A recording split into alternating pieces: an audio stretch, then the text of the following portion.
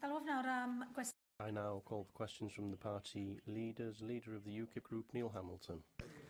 Uh, it's clear now that the failure of the Prime Minister's cynical, opportunist snap election gamble has uh, thrown the whole Brexit negotiating process into confusion, perhaps uh, exacerbated by the fact that she's appointed 16 Remainers to her cabinet of 23. And in particular, this throws perhaps more into question than previously uh, the nature of our border controls uh, post-Brexit.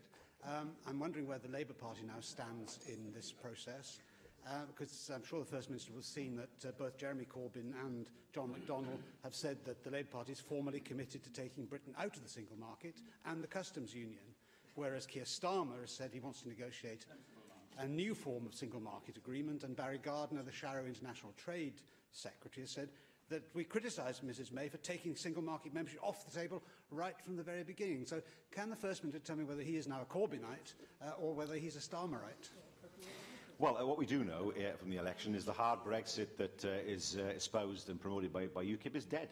Uh, people were asked to uh, vote on a particular version of Brexit, specifically asked to vote on that by Theresa May, and she did not get that mandate. So, what happens next? We have put forward, together with Plaid Cymru, uh, a white paper that uh, suggests a, a way forward as far as Brexit is uh, concerned. I have today written to the Prime Minister reminding her that it, it takes more than words when it comes to seeking engagement with the devolved governments. I welcome the words of Guto Bebb, for example, where he, re he recognises the, uh, the, the reality of the, of the situation, that a sustainable Brexit can only happen uh, if the devolved governments are fully part of that process. Uh, and I hope that the small group in Whitehall that have been trying to control this take note. Yeah. I read, of course, the government's uh, white paper on Brexit, which effectively isn't in favour of border controls at all in any meaningful sense. Um, and uh, my interest in this is the, on the impact of unskilled and semi-skilled labour being imported in uncontrollable numbers and the effect that that has upon working class wages.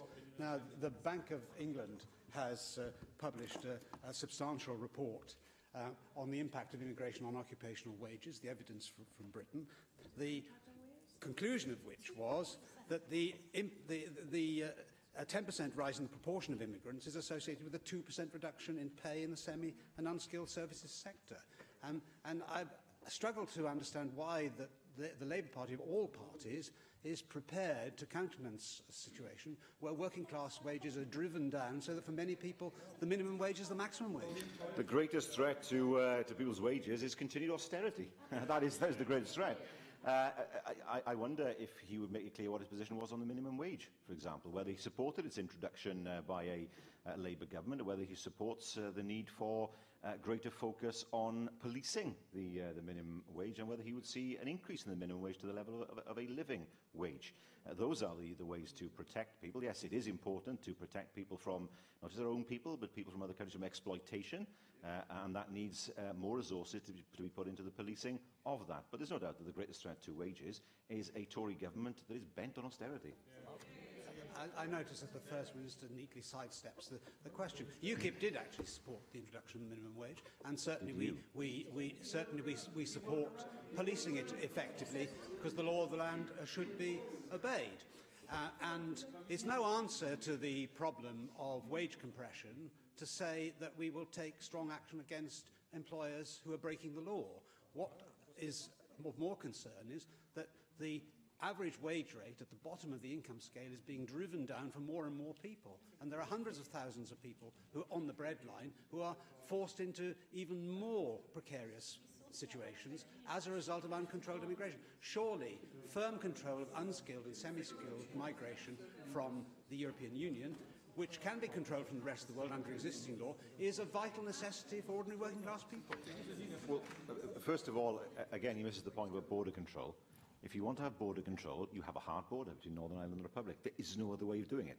Uh, unless you, you want to put British border agency officials in the Republic's airports and ports, and that is a, a strategy fraught with uh, problems, if I can uh, put it diplomatically. Uh, that situation is still not being properly resolved. But for me, the issue of low wages is driven by the austerity we've seen for the past seven years, the fact we haven't seen increases, real increases in pay, the fact that we've seen people who are in work lose in-work benefits.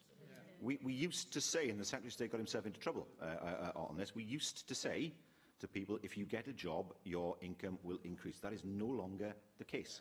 Because of the fact that those at the top of the income scale have received more money through tax cuts and those at the bottom have received less money through the reduction and loss of in-work benefits. That's what the, the focus should be on, making sure that those people who are working hard, working long hours, get the support they deserve, and they haven't had it over the last seven years. Arweinydd Plaid Cymru